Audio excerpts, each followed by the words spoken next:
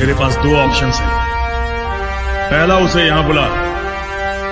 तुझे छोड़ दूँगा वरना तुम दोनों को एक साथ यही मारूँगा। और भी कोई डायलॉग बाकी है? जब वो आएगा वो ऑप्शन नहीं एक्शन हो।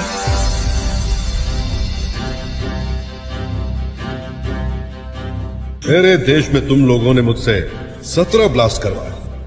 तो क्या एक बार मैं क्या टाइगर श्रॉफ है आजकल अपने इंस्टाग्राम पर कुछ ज़्यादा ही एक्टिव क्या टाइगर को है श्रद्धा कपूर पर मेजर क्रश क्यों ली सारा अली खान ने मार्शल आर्ट्स की ट्रेनिंग दोस्तों टाइगर श्रॉफ के एक्शन सीक्वेंसेस और मार्शल आर्ट्स के लिए प्यार से तो हम सभी वाकिफ हैं।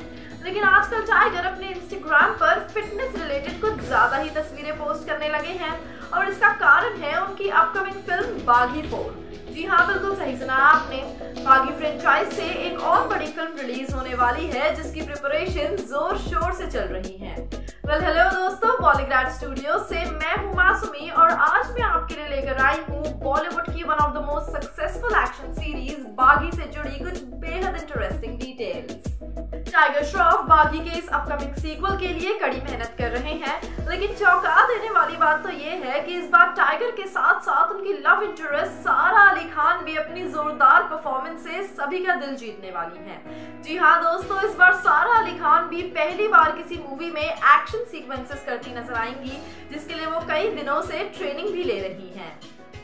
साल 2016 की फ़िल्म बागी दो और मूवीज़ के साथ अपना नाम शेयर करती है जिसमें सबसे पहले है साल 1990 में आई सलमान खान की फ़िल्म और दूसरी है 2000 में आई संजय दत्त की मूवी बता दें कि बागी 2004 में आई बॉलीवुड फ़िल्म वर्षम और 2011 में आई Indonesian film the raid redemption पर बेस्ड थी।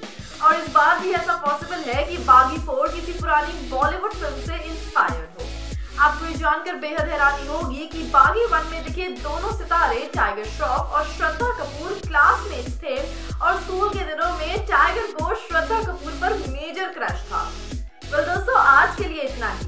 हमें कमेंट सेक्शन में ज़रूर बताइएगा कि आप बागी फोर के लिए कितने एक्साइटेड हैं। ऐसी ही और इंटरेस्टिंग गॉसिप के लिए बने रहिए हमारे साथ और सब्सक्राइब करें हमारे चैनल बॉलीग्राड स्टूडियोज को। आपसे जल्दी दोबारा मुलाकात होगी। तब तक के लिए बाय que quer.